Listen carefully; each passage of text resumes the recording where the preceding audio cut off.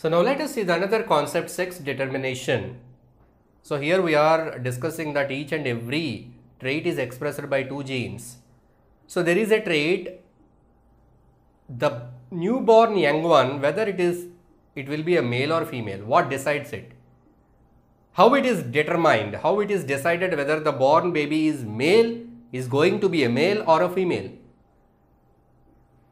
So that is called as sex determination. In animals, in lower forms, in some of the organisms, the sex determination is based on environmental factors. Various environmental conditions decide whether the newborn baby will be a male or a female. In some cases, the temperature decides. Many animals delay the eggs. The temperature at which the eggs are hatched decides whether the born baby will be a male or female. So here uh, temperature is also we can consider it as an environmental factor. So in case of these eggs hatching, the variations in temperature can bring about change in the sex of the organism. So here it is temperature linked. And in some organisms you see like snails, they can change the sex male to female. So this is these are all in the lower forms. Let us talk about the humans, how the sex is determined in humans. In humans, the sex determination takes place purely by genes. Depending upon the genes acquired by both mother and father.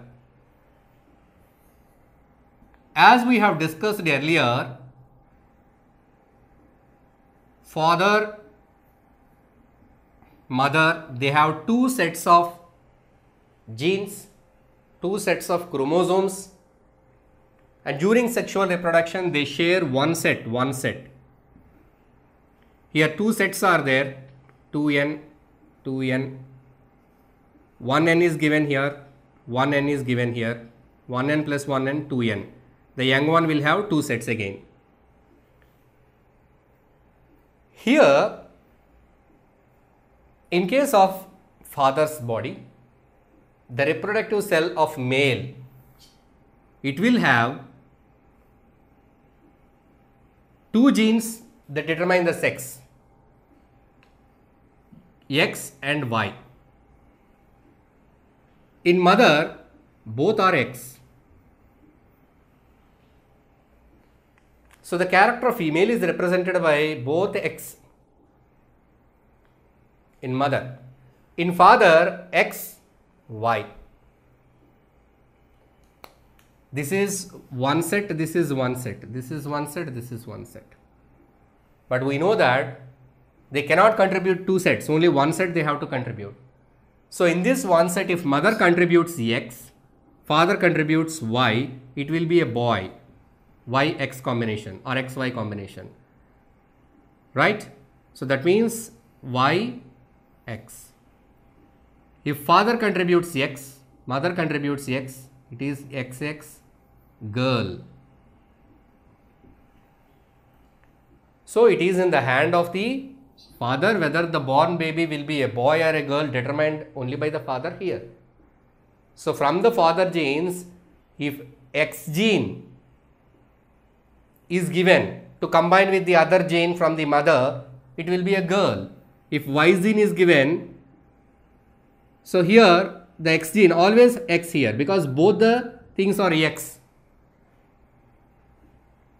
So mother always contributes X. Mother always contributes X because she has only X which determine the sex. But father has two, X and Y.